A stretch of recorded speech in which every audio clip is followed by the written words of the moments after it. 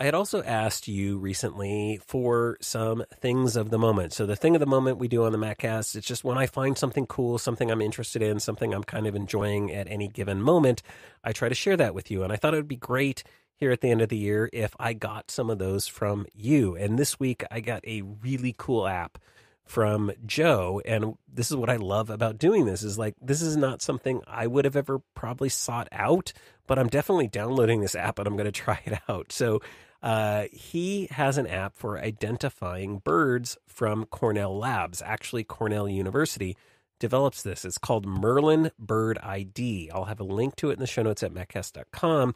And I think it's really targeted at birders, but you know, I've been out and about. I think we all have, and you see some unusual bird or hear some bird call, and you're like, I wonder what that bird is. This app will help you identify that. And you could do it in a bunch of different ways. You can take a photo or upload a photo of a bird from your iPhone along with the date and location where you were when you saw that bird.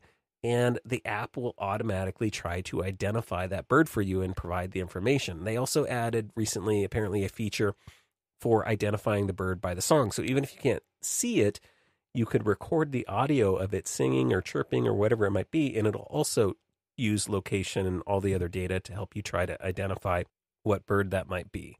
So that's pretty cool. And then, of course, you can do it by just answering some questions about where you're at and description of the bird so that has kind of an interactive quiz that you can take. And based on your location, uh, it'll help you browse for the birds that might be in your area. So there's a number of ways you can interact with the app.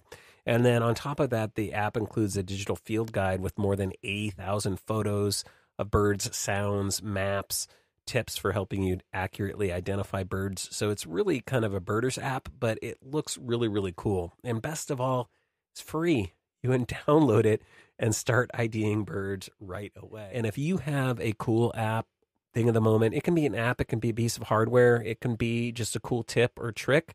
Uh, send those along, and I'd love to share those with our community as well.